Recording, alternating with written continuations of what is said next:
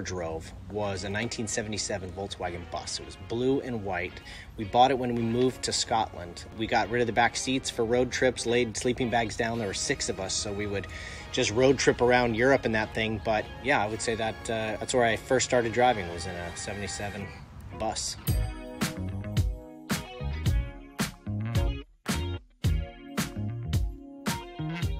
Been driving professionally for right around 25 years. Uh, well, technically, with R, this is just going into the third year, but I've been with Volkswagen for six years. Uh, the thing I like most about my job is the variety. Uh, sometimes it's stunt driving, sometimes it's chatting on camera, sometimes it's racing, um, sometimes it's driving some supercars. I like that they all have to do with the steering wheel. I was rallycross racing for a number of years, and Jost Capito was running Volkswagen Motorsport. And I knew in WRC Rally they had been absolutely dominating. So I knew that when they got into rallycross, they would be the absolute team to beat. And so I did everything I could to jump on board. Favorite thing about working with VW one, the people in the US that work with Volkswagen are awesome.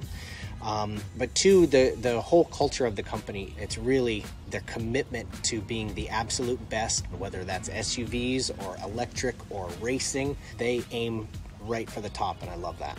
I would say the first one because I wasn't, I didn't know what to expect. And then when um, Jost Capito came out and said the rallycross car is going to be a Beetle, yeah, when he said it was going to be a Beetle, that's when I thought, okay, this is crazy. And this is just the fastest, meanest Beetle ever built. Driving the rallycross Beetle is an absolutely insane experience. You imagine an animal that is basically out of control and your whole job is to kind of calm it down while hanging on to it. That's what driving that car is like. It's got almost 50 pounds of boost, goes 0 to 60 in less than 2 seconds, pulls almost 2 Gs on pavement, can do 180 foot jumps and land like a Baja truck, and is pretty good on the gravel. It's an absolute monster. Favorite moment in a VW is uh, winning the uh, American Rallycross Championship in, in the Beetle. Any, any kind of victory, anytime getting on the podium with that car was such a special experience. I mean, my favorite VW is the Golf R that is sitting right behind me. My favorite surface to drive on is probably snow. I've got the manual. Uh, some days I'd like the DSG, but I, I, I like not letting my left calf go into full atrophy. Broccoli. I do. I love broccoli. Beetle or bus? Um, I would. I take the Beetle. no, I have not. Why, Andrew? What are you doing later? Honestly, the first race that I ever got paid to drive.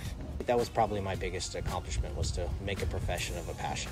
There's a lot on the road ahead that, that I've been lucky enough to be a part of and to see with Volkswagen. I mean, of course, you've heard about the electric technology. I love being a part of the performance story of electric, but also on the R side, there are so many products coming out from R that have such innovative technology, and so it's a very exciting thing to be a part of that.